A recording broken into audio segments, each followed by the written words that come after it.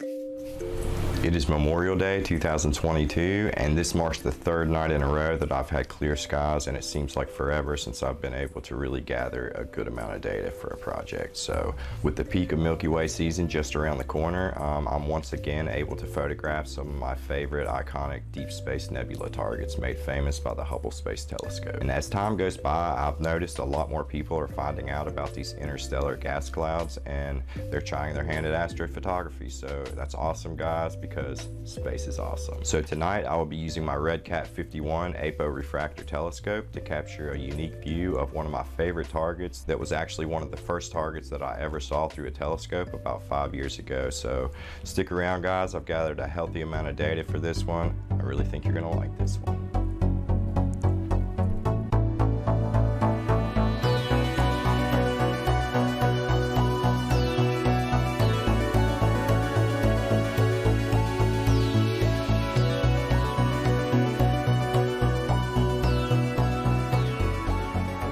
Project, I've chosen to shoot M8, aka the Lagoon Nebula, located 5,000 light years away from Earth in the constellation Sagittarius. Taking advantage of the RedCat's modest 250mm focal length will allow me to also include a few other surrounding objects in the frame. So we have M20, the Trifid Nebula, M21, an open star cluster, the H2 region IC1275, NGC 6544, the Starfish Cluster, and M8, the Lagoon Nebula. So for this project, I'm pairing the RedCat 51 with the ASI 183 MC Pro one-shot color astronomy camera. I am going to be using a few different filters. For night one, I used the Optolong L Extreme Duo Narrowband filter, and that was just to kind of isolate that red hydrogen gas and make it pop a little bit from the, the background. For night two, I switched filters and I switched the Optolong L Pro uh, broadband filter and this is going to allow me to reduce any light pollution or air glow. Um, it was kind of hazy last night. It should really help with that and help retain a little bit of those natural star colors. And for tonight, again, I'm just going to gather more data using the L Pro and add it to what I've gotten so far. Um, with the L Extreme filter, I gathered about 55 300 second exposures and with the L Pro on the first night, I gathered the same, about 50 or 55 exposures, 300 seconds.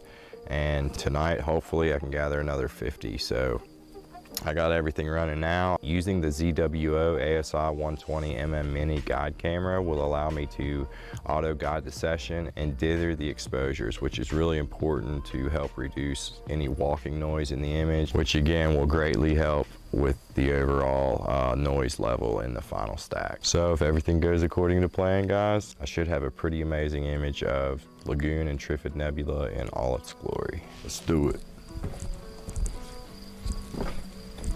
I wanted to show you guys the new feature that they added in the recent update with the ASI Air Pro. We have this little uh, constellation down here in the corner. If we click on it, it actually brings open a planetarium app and you're able to just kind of look around at different things and you're able to slew to targets like this.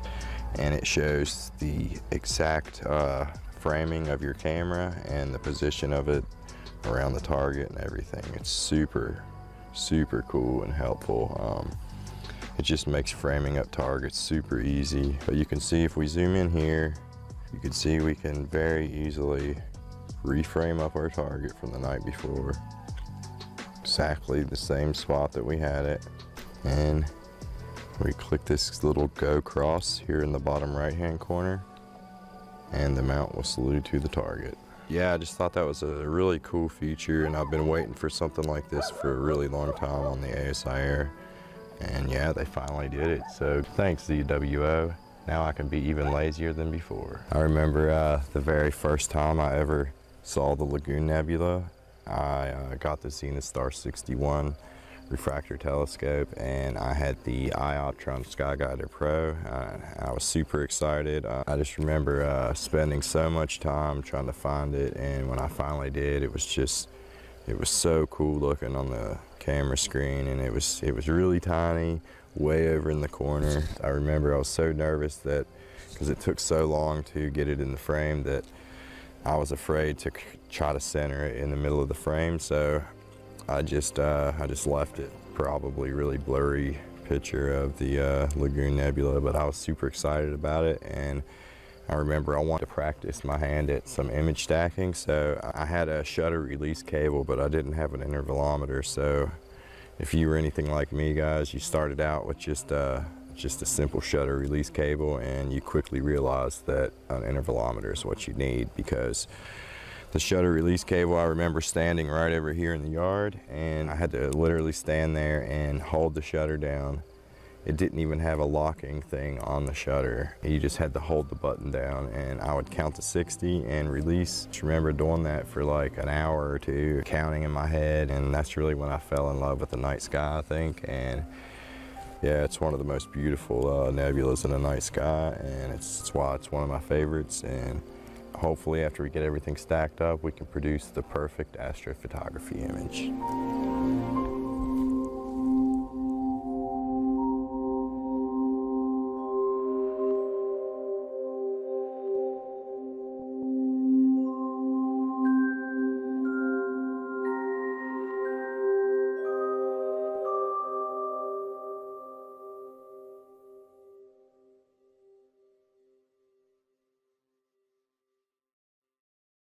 So after five nights in a row with clear skies, I was finally able to gather up enough data to produce the most amazing picture of the Lagoon and Trifid Nebula I have ever captured. Um, I ended up combining all the individual frames into three separate master files using AstroPixel Processor. It is a software on the computer that makes that process a lot easier than it sounds. So we're going to go ahead and jump on the computer. I'll let you guys take a look at the raw file straight out of APP and I will leave a link in the description also for the raw files if anybody wants to download them and try their hand at processing some quality data feel free to do so. Uh, just tag me in the finished post so I can see what it looks like. So we're going to go ahead and jump on the computer guys.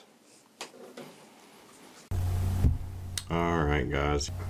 Here we are on the computer and I just kind of wanted to show you guys what these look like straight out of AstroPixel processor here. And I will start off by saying um, when you're doing multiple nights like this, you you really want to make sure that after each night that you uh, unload the memory card on the computer. So I like to come in here and I'll show you what I did here. So I made I have my lights, flats, darks, and dark flats here, and then I have night 2 with the L Pro, night 3 with the L Pro. I have night 4 with the IR cut, and night 5 with the IR cut. And if you look in here, I have each one of them labeled here on each night. And if you think about it um, the night starts on one day and then the next day it rolls over. When you pull them on the computer your files will say the third and the fourth. And then if you shoot again the next night your files will say the fourth and the fifth. So it's you can see it's very easy to confuse the two. You can't really remember which night is which, so it's best practice just to do this. I used to not do this and it was always just like a jumbled mess. So I just wanted to point that out guys. Um, but we're gonna go ahead and jump here onto Photoshop. I did with the two nights with the L Pro and one night with the IR cut filter and that's what this is and then I have the HA data here that I extracted out of the L Extreme uh, filter data. So if we look here, it's just super clean. I mean, there's a little bit of noise there, but that's just the HA data, so looks really nice.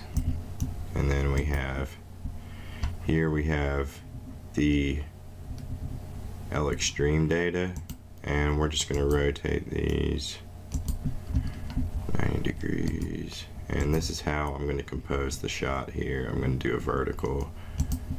Let's just go ahead and rotate all of these. And then we have the for some reason it didn't really line up exactly, but we can crop that out, no big deal. So we're gonna go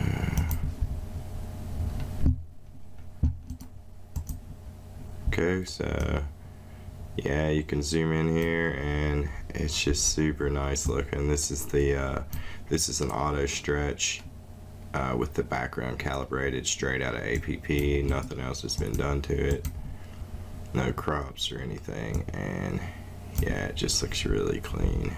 You can zoom in, and this ended up being a 15.8 hour exposure, and I will leave a link in the description for uh, the raw files if you guys want to download these. I will put all the files I have open here.